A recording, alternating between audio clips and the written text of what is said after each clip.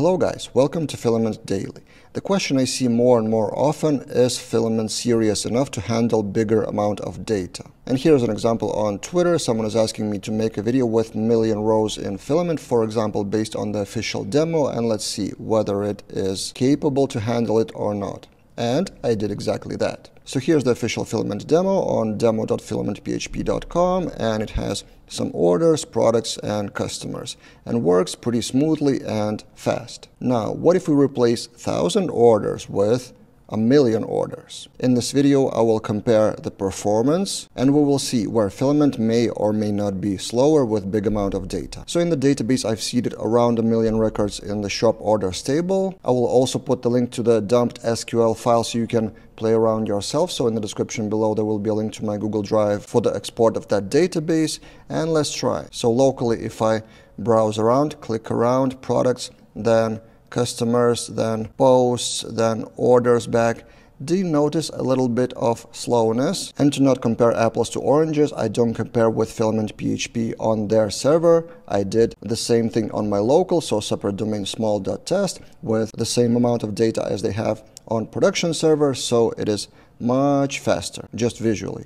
Compare again, if I click customers, there's kind of a lag of half a second or so. Let's take a look at the network tab. So with large amount of data, we have products and total finishes 1.2 seconds, customers almost a second here, then posts second 0.09 and orders the biggest thing is second point 49 actually it's two seconds. And in a minute I will show you why step by step. For now we're just benchmarking. And if you compare that to smaller amount of data again open network tab click orders, for example, and we have 800 milliseconds, customers 500 milliseconds, products 500 milliseconds. So the difference is pretty significant. And the only difference between those two panels is the amount of data in the database. So the reason for the slowness is actually database queries. So the question then becomes how Filament launches Eloquent and SQL queries and is it optimized enough? For that I've installed Laravel debug bar and we'll see the actual queries. I will zoom that in a bit. And if we go to the orders, let's actually relaunch that again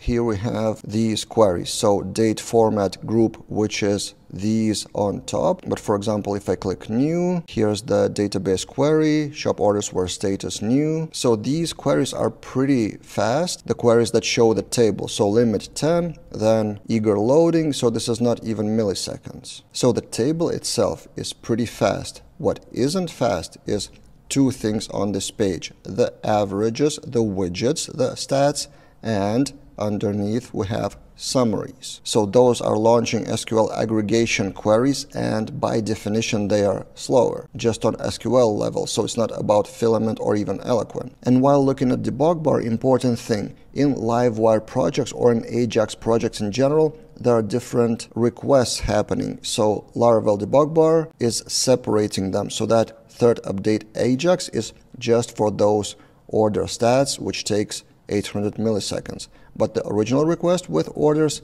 table, this is a separate, which takes 1.1 seconds. And again, if we open the network tab and let's refresh actually, and that's what happens with two seconds. So out of those two seconds, one second is these on top and another one point something seconds is the table with summarizers. So now if we remove the order stats, for example, in the get widgets of the filament resource, Let's comment that out.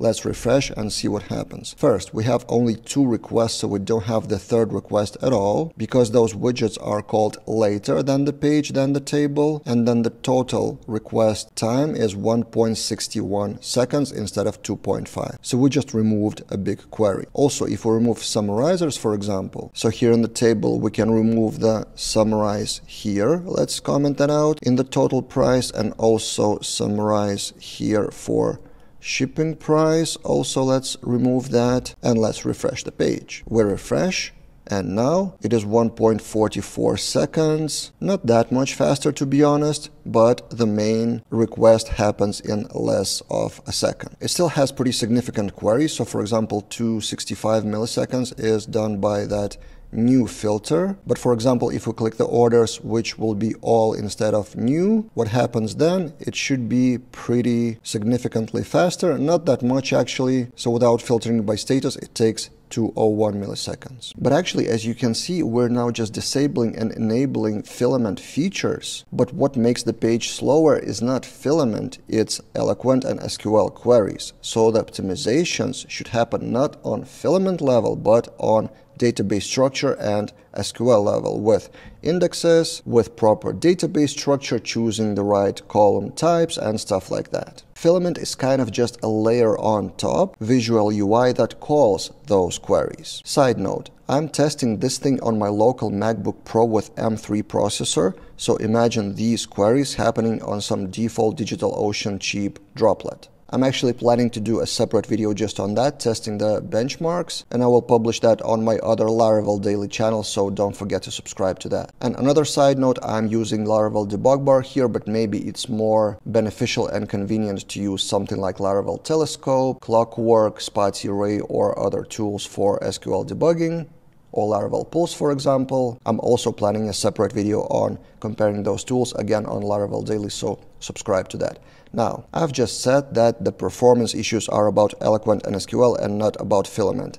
Not always. Let me show you one thing I've discovered about Filament which makes it slower. So we've been looking at orders page, but if we browse around the products or customers, it is still slow, although we loaded the data only for the orders table. And the thing that makes all pages slower is this badge for the orders count. So in the same order resource file, we have get navigation badge and this count for status new. And that query is around 200 milliseconds by default, as I've shown you previously with another example, but this is not the worst part. Let's take a look at the debug bar, for example, load posts, which are totally irrelevant to orders or shop even at all. And in Laravel debug bar, let's take a look at the first post request. And in the queries down below, we can see count as aggregate to times. So the same eloquent query for get navigation badge for some reason is launched twice. So we have 280 milliseconds and then again around 200 milliseconds for the same number to be shown as a badge on a page which is totally irrelevant to the orders at all. So my first advice probably is be careful to show any badge or any calculations like that globally in the menu because it may be slower. And also with Filament, I advise you to double check the queries anyway with debug bar or whatever tool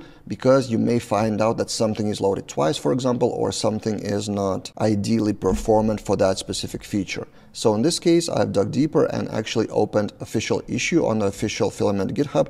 Maybe by the time this video airs, that issue will be fixed. I made kind of a source dive and located the problem, but I wasn't able to actually fix the issue. I'm not that deep in Filament internals, so I've raised the issue and quoted someone else with the same problem, flagging it earlier. And the thing is that there is Navigation Manager, which is for some reason called twice, although there is a check of is navigation mounted or not, but for some reason, in my case, in default filament demo, that condition didn't work. So that's why the whole navigation is loaded twice, including that SQL query. And finally, of course, you should optimize the things on the database level, which is kind of outside of topic of this video and this channel at all, because this channel is about filament. So I wanted to show you just how performant it is. But generally, you should optimize the queries with deleted at, maybe indexing or changing the enum search to something like foreign keys or integers. And I'm planning to shoot a few videos just about that on my Laravel daily channel, comparing the enum versus integers and foreign keys and stuff like that. So again, subscribe to the channel where I will focus more on Eloquent and SQL performance. And also on my Laravel daily com, I have a few courses about specifically that Eloquent performance. So if we search for performance, there's a course about better Eloquent performance for optimization also, there's a course about structuring the databases in Laravel, about relationships and foreign keys and stuff like that, how to structure that. I'm actually in process of updating that course in general for newest Laravel versions, but under the hood database structure is more or less the same logic. And also there's a course about Eloquent, expert level, if you want to understand a bit more what is happening under the hood of filament syntax. I will link all those courses in the description below. What do you think about my mini research? Have you ever encountered issues with filament performance or bigger amount of data? Tell me about your cases and how did you solve them, if you solved them, and let's discuss in the comments below. That's it for this time and see you guys in other videos.